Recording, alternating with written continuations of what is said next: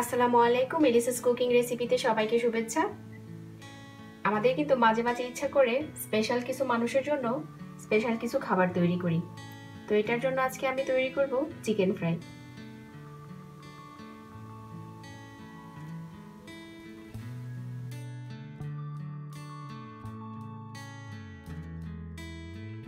আজকে chicken fry তৈরি করার জন্য আমি এখানে চিকেনের দুটো লেগ পিস নিয়েছি। আর এখানে কোয়াটার চামচ করে নিয়েছি আদা, রসুন বাটা। আর দুটো কাঁচামরিচ বেটে নিয়েছি, এক চা চামচ টক দই নিয়েছি, গরম মশলা নিয়েছি আমি হাফ চা চামচ।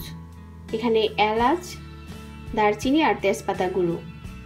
একটা ডিম ফেনিয়ে নিয়েছি আমি এখানে, কিছু বেড গ্রাম নিয়েছি। আর আমার লাগবে এক চা চামচ কর্নফ্লাওয়ার আর এক চা চামচ ময়দা।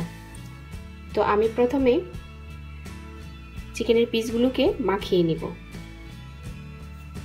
সবগুলো মশলা দিয়ে আমি চিকেনের পিসগুলোকে মাখিয়ে নিচ্ছি। দিয়ে দিয়েছি টক দই। আদা, রসুন আর কাঁচামরিচ বাটাটাও দিয়ে দিচ্ছি।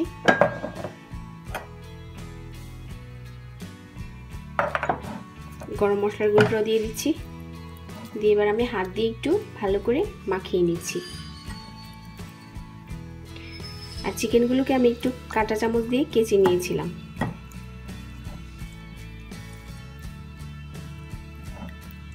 চিকেনগুলোকে ভালো করে মাখিয়ে আমি ভাপ দিব। চিকেনগুলোকে ভাপ দেওয়ার জন্য চুলায় আমি একটা পাতিল বসিয়ে দিয়েছি। এবার আমি চিকেনের পিসগুলো দিয়ে দিচ্ছি। বাকি মশলাগুলো ওর থেকে মুছে দিয়ে দিচ্ছি।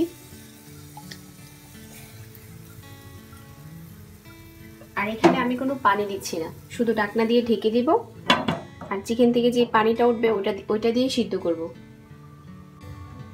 চিকেন থেকে যে পানিটা উঠেছে, আমি ওই পানিটা দিয়েই কিন্তু চিকেনগুলোকে সিদ্ধ করছি। একটু উল্টে দিচ্ছি। আর এই পানিটা পুরোই আমি চিকেনের গায়ে শুকিয়ে নিব। আবার ডাকনা দিয়ে ডেকে দিচ্ছি। আর চুলা রাসটাকে একদম ল করে রেখেছি। চিকেনটাকে আমি এখানে নাইনটি পার্সেন্ট সিদ্ধ করেছি। পুরোপুরি পানিটা শুকিয়ে গেছে। এবার আমি নামিয়ে ঠান্ডা করে নিচ্ছি। চিকেনগুলোকে আমি ভালোভাবে ঠান্ডা করে নিয়েছি। তো এখানে আমি ময়দা আর কর্নফ্লাওয়ার যে নিয়েছি, এগুলোকে একসাথে মিশিয়ে নিচ্ছি।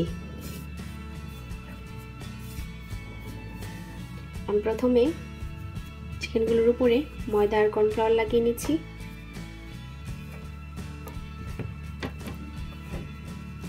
হাত দিয়ে চেপে একটু ভালো করে লাগাতে হবে।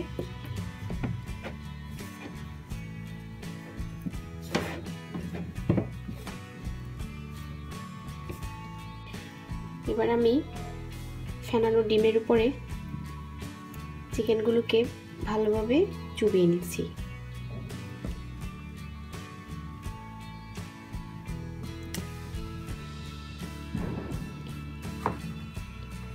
তারপর আমি বেডগ্রামে একটু গড়িয়ে নিচ্ছি।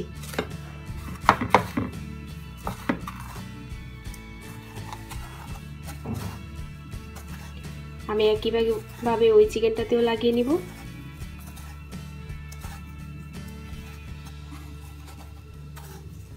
তারপর আমি ভাজতে চলে যাব।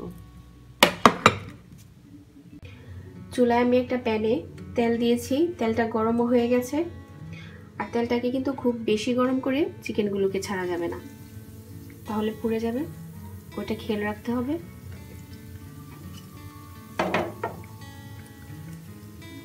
চুলা রাসটাকে এরকম রেখে বাঁচতে হবে। আর আমি এখানে অরেঞ্জ কালারের বেডক্রাম নিয়েছি। আপনারা চাইলে কিন্তু হোয়াইট কালারেরটাও ব্যবহার করতে পারবেন। আর আমার চ্যানেলে দুটো বেডগ্রামের ভিডিও আছে। আমি লিঙ্কটা নিচে দিয়ে দিব। চিকেনের একটা পাশ ভাজা মনে হয় হয়ে গেছে, এবার আমি চিকেনগুলোকে উল্টে দিচ্ছি।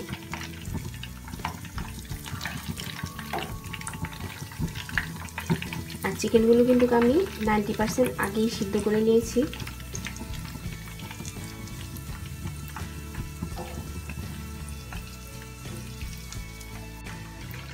চিকেনের ওই পাশটাও ভাজা হয়ে গেছে, এবার আমি একটা টিস্যু পেপারে উঠিয়ে নিচ্ছি।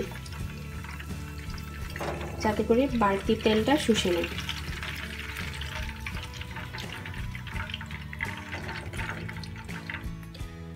তৈরি করে নিয়েছি আমি চিকেন ফ্রাইগুলো।